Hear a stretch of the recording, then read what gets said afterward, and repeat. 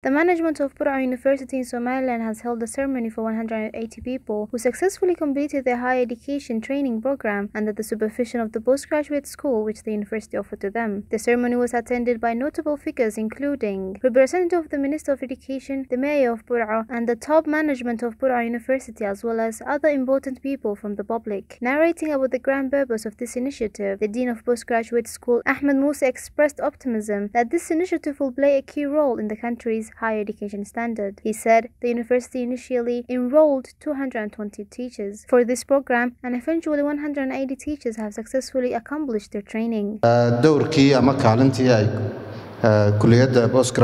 ay ka qaadatay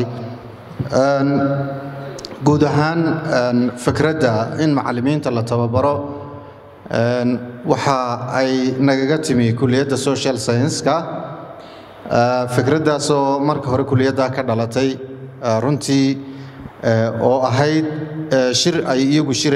Some of the instructors also commended this initiative of training, clarifying that Somaliland could develop a good leader and academicians by enhancing the education standard. They also encourage lecturers to proceed with their studies and challenge them to never stop learning to improve their teaching techniques. The university management made promised to engage in other major and important training for the lecturers and other members of the university staff in the future in order to level up their teaching skills.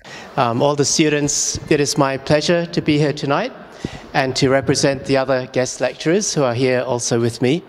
Um, I think we're all here because we value education highly, and education is very, very important. Um, we have seen that education for Somaliland is one way that Somaliland is progressing and improving, and we know that because of good education, we can develop good leaders for the country for the future.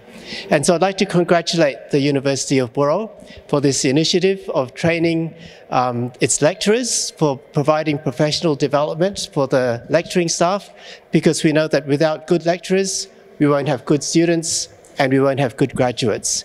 As you all know, the organization has taken step ahead to train all the teachers. Uh, quality input is equals to a quality output, and it decided to make all the teachers, new teachers and the old teachers to go through the training, which was very much helpful.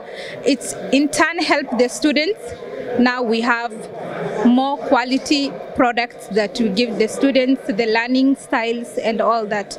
So generally, I think the training was very much helpful and we are glad that the organization has trained its employees as you know, employees are asset of the organization, and as a university to have trained teachers, that shows the quality of the education that the students will get.